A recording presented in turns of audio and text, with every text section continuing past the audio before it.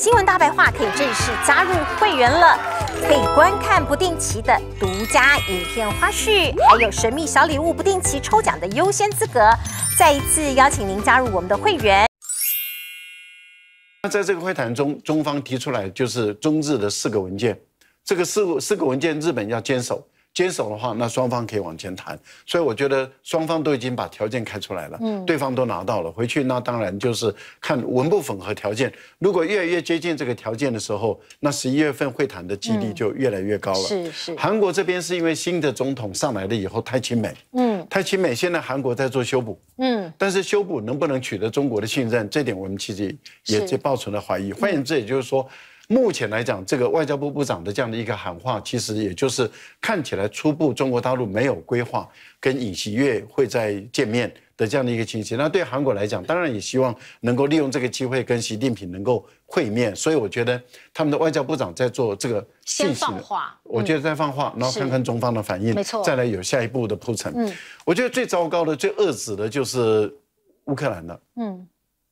你看他的外交部部长承认。一交战的时候，他的家人就送出去了。开战当天呢？对，那代表我家的我家人跟狗都已经出国。那就代表他知道这个内幕，他也在做避险。嗯，而泽连斯基竟然没有让乌克兰的人民做避险工作。嗯哼，这个是坏透了。我坦白说，我最担心的就是台湾。如果我们的领导人像泽连斯基一样，假设美国给我们的领导人一个。明确的情报的讯息说两岸要交战了，然后我们的领导人跟他的官阁员，然后把他的家属开始在做避险，还有狗，还有狗，还有猫，还有猫，蔡祥祥对，然后却不告诉我们国人，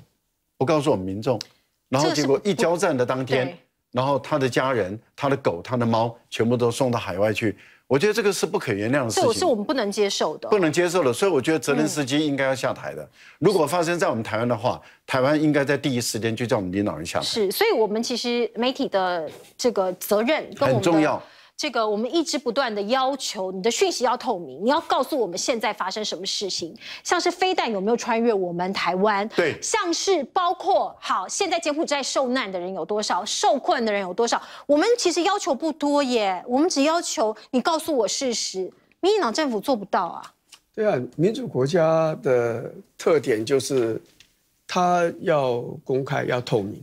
啊，它的政策要公开要透明。这里面所谓政策是包括，就是说，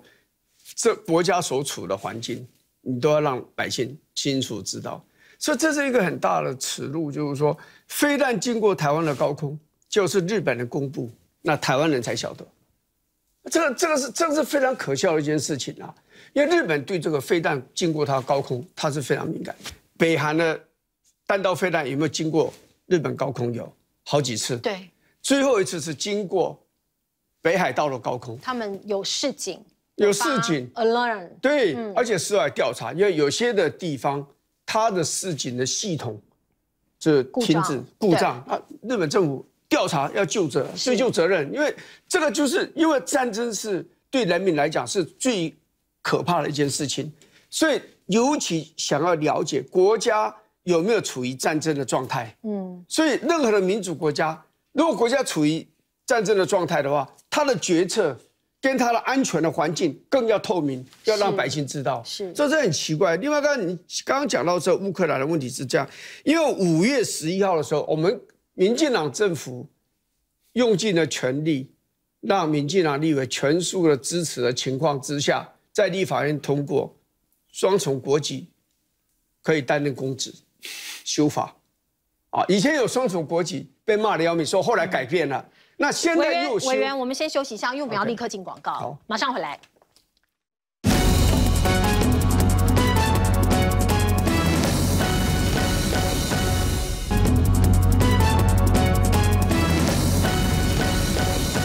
好，接下来我们来看看美中的竞赛是无所不在哦，两个战场，澳洲以及中东，我们先来看看中东啊，呃，一直有一个传言，就是习近平哦，近期可能会访问沙地阿拉伯，现在没有证实。可是呢，从事实面上，我们可以看到这两个国家的合作越来越紧密，包括全面的战略伙伴，一直从石油啦，一直从贸易啦，哦，一直从一些双边贸易协定的签订。事实上呢，两边的贸易总额也一直不断的在增加哦，包括在去年二零二一年，双边两国的双边贸易是八百七十三亿美元哦，比起过去成长哦，成长增加了两百零九倍，这个数字非常非常的惊人哦。你也可以看到，包括钢铁集团。德隆钢铁集团也跑去沙地阿拉伯来投资了哦，双方还有一些签订一些合约，以及在房地产方面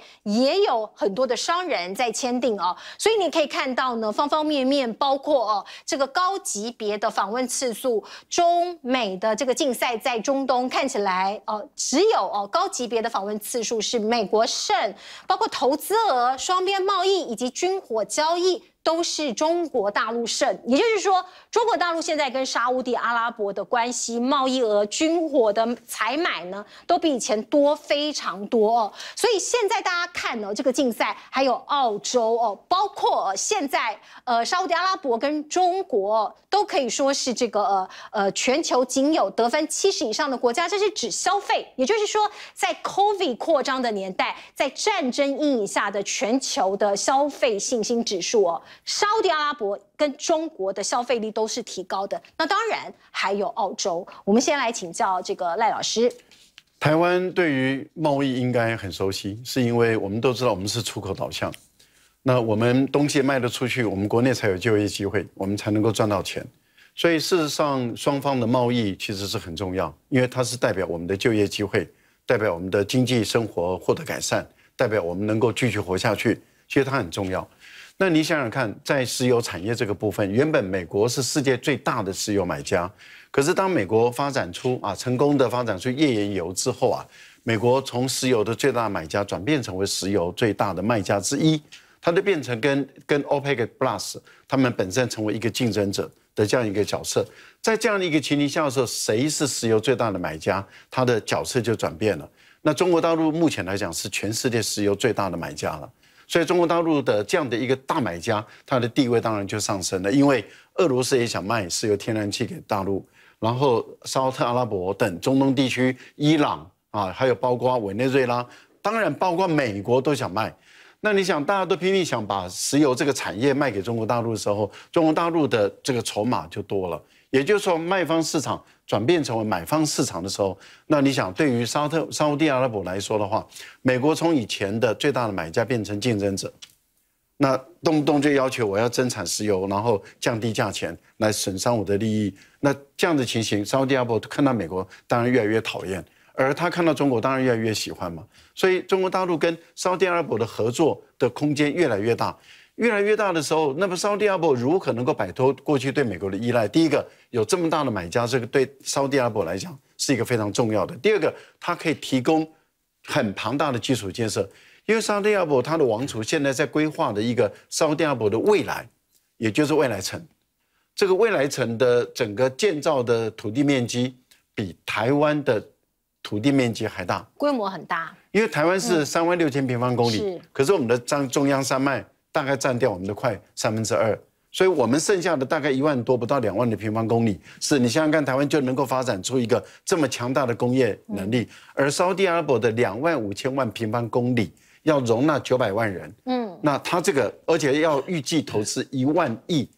呃一兆美元，嗯，那你想这是一个多庞大的事业？好，谁能承建？中国大陆能承建？是，然后接着呢，那就武器。过去沙特阿拉伯依赖美国的武器供应，现在它可以从中国大陆获得战略武器的供应。嗯，那是不是转关系转变了？好，我们先进一下广告，回来之后再听赖老师怎么说。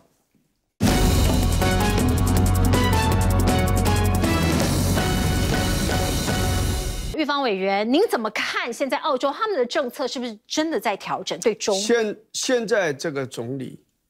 他是真的想改善跟中国大陆的关系，因为中国大陆是。澳洲最好的市场，最大的红酒的市场，还有牛肉，啊，还有譬如说像这个其他一些矿场啊，我们就不要一个讲了。所以对他来讲，跟中国大陆改善关系，就是国内的可以满足国内的。像这个农产品啊，还有一些一些工业矿产的这些用品的这样的一个市场的追求嘛，哦，那现在一个问题在这，中国大陆就最近，譬如说，假如说你有口蹄疫啊，你的牛肉不准进来，那总理当然火，他说你没有这个 base，你没有这个没有这个基础，没有这个依据讲这样的话，我们没有口蹄疫，但我认为双方用字来讲文雅多了，尤其是澳洲总理，不像前面的 Morrison。